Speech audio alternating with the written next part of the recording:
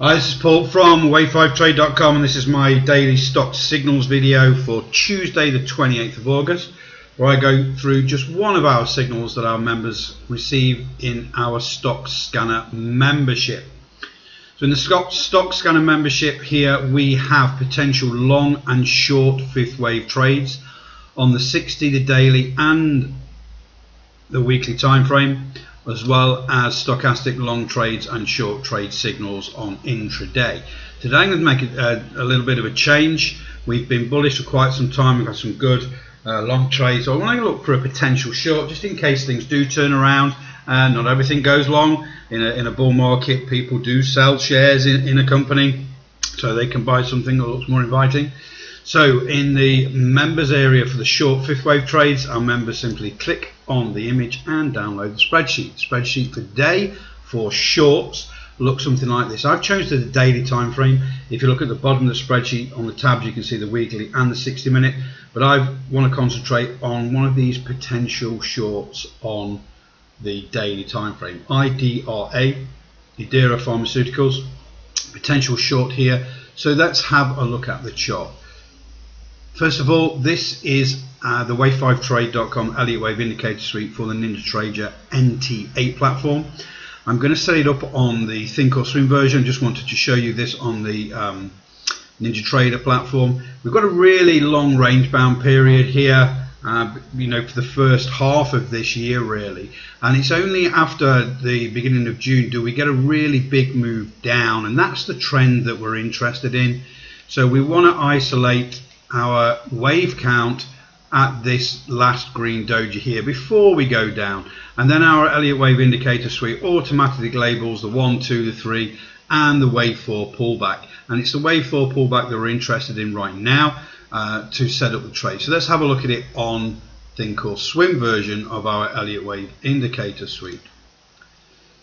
So first of all, before we go on to IDRA, yesterday's signals video on GS on the 60 minute time frame for the long hit target within the first hour and then went through target. Great trade, very simple setup. Remember I used the multiple time frame strategy or one of those uh, to help me find that really good support and then the entry, they, it gapped up just before the entry at the open yesterday did move down a little bit and then just went for it in the first hour, hit target in the first hour, and then pushed through for the rest. So really great trade. Within an hour, hit target, really, really good. Just shows you how powerful our Elliott Wave indicator suite is, along with our stocks signals membership. So let's go to IDRA right now. Let's maximize this cell and look at this setup. So first of all, let's just remind ourselves of the filters that we use for our stocks scanner membership. So this is the same stock, it's the same wave count, uh, same, pull, same pullback zones, it's just on our Think or Swim version. So first of all, we're interested in a wave 4 pullback against the main trend. And just recently, since the beginning of June, we've had this bearish move. We've had a pullback recently against that, and that's our wave 4. We want to measure that.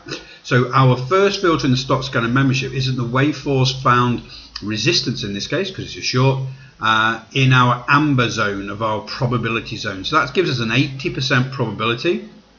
We're going to go on and make that new wave 5 low into our automated target zones down here in blue, about 354. We also look at the 535 oscillator here.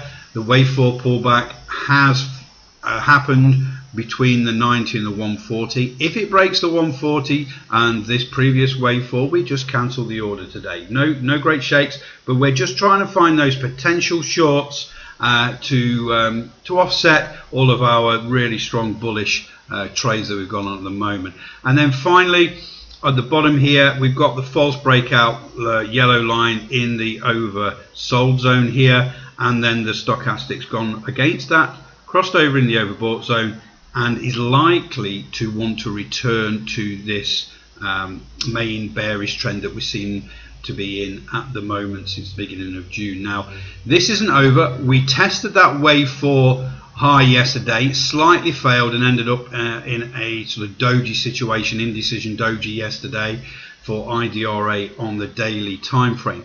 But we are looking for the continuation of this. So the simple rules are if it breaks yesterday's high and this wave 4 high cancel the order if in fact it does come down further today and we get through 769 which is outside of our 6-4 moving average low, the red moving average low on our chart here, which is a special moving average for our entries, and also the low of this indecision doji. You want to make sure we're below that there, uh, just because that was a price in which uh, traders decided to push back up. So we want to be below there. So 769 entry short for IDRA. The stop losses are just above the wave 4 high there, so about 1034, something like that. And then the target 354 right in the middle of our um, target zone here is a one, risk to reward of 1 between the stop loss and entry to 1.6 into our target zone there. So great risk reward, sensible entry. If it does turn down and turn down uh, with momentum, we can grab hold of this this potential short 769. If it does go further high, just cancel the order and that's all about that's all trading is about is just setting these potential trades up if they go against you before they even trigger and then just cancel them but you've got to be in it to win it just like the Goldman Sachs trade yesterday just got to keep setting these up because you just don't know when they're going to hit. Uh, all you got to do is make sure the criteria fits well for our trade setup with our indicator suite and our um, stock scanner membership and they do hit target. This was a six minute time frame remember IDRA is on the daily time frame so it would take quite a little bit longer. Okay so that's it for today. Have a great trading day. Speak to you all tomorrow